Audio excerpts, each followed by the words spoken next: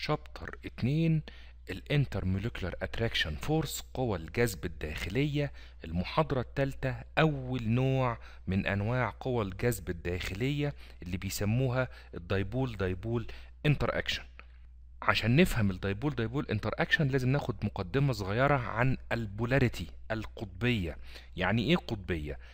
لو تخيلنا عندنا ذرتين الذرتين دول متماثلتين وبيتشاركوا برابطة ولتكن رابطة تساهمية بنلاقي ما بيحصلش قطبية. الإلكترونات بتدور حول الذرتين بشكل متساوي وبتبقى موجودة في منتصف المسافة بين الذرتين. بنقول إن دي نون بولر دي رابطة غير قطبية والإلكترونات بتتشارك بين الذرتين بشكل متساوي.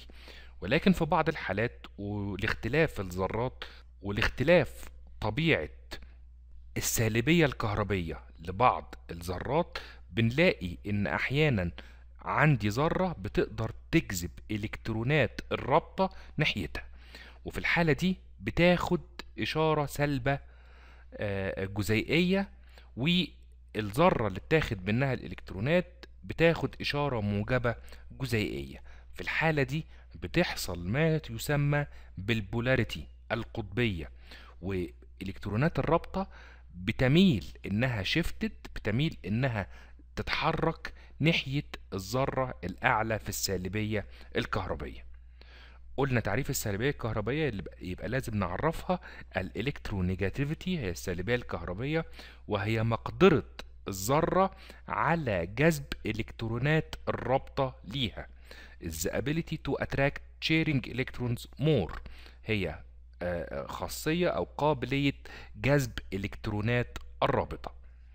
طيب بما إن دوت بيحصل في بعض الجزيئات بينشأ عنده ما يسمى بال dipole dipole interaction ادي مولكيول كان فيه إلكترونات للرابطة حصل لها شيفت ناحية الذرة الأعلى في السالبيه الكهربية الذره الأعلى في السالبيه الكهربيه خدت شحنة سالبة جزيئية والتانية خدت شحنة موجبة جزيئية. الكلام ده اتكرر في أكتر من جزيء.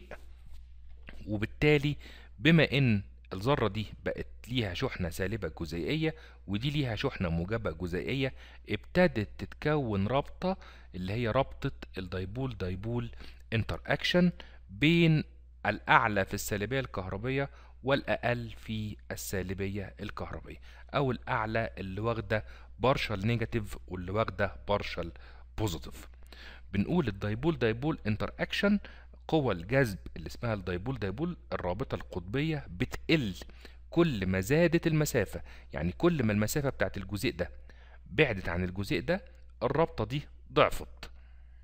طيب الحاجة الأخيرة ال dipole dipole interaction gases are much less than liquid or solid.